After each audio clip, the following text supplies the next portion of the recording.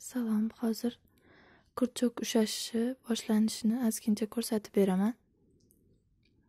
Mana ipimizni bosh barmoq va o'rtadagi katta barmoq bilan ipni kalta joyini ushlab turamiz-da.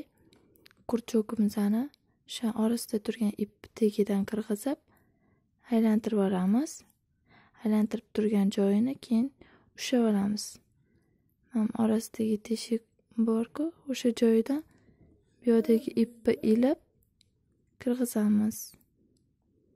Keyin qo'yib yuborsak, tugun bo'ladi. Keyin o'sha tugun joyini ushlab turamiz Kurchokka bu ipdan ilib ketaveramiz. Mana mana shu воздушный bo'ladi. Birinchi sxema tashladimku o'zim yozib tashlagan. O'shanga qarasanglar, воздушный bug'doy, dumaloq, dumaloq deganaqani ko'rsatib qo'yganman. Mana mana shu bo'ladi воздушный. Nima to'qiydigan bo'lsak ham boshida mana shu воздушныйdan boshlaymiz. Воздушный, petля, zanjir, bug'doy deb aytiladi. Hozir pinetka to'qiganimizda ham birinchi mana mana shu zanjirdan boshlaymiz и sanab boshlaymiz.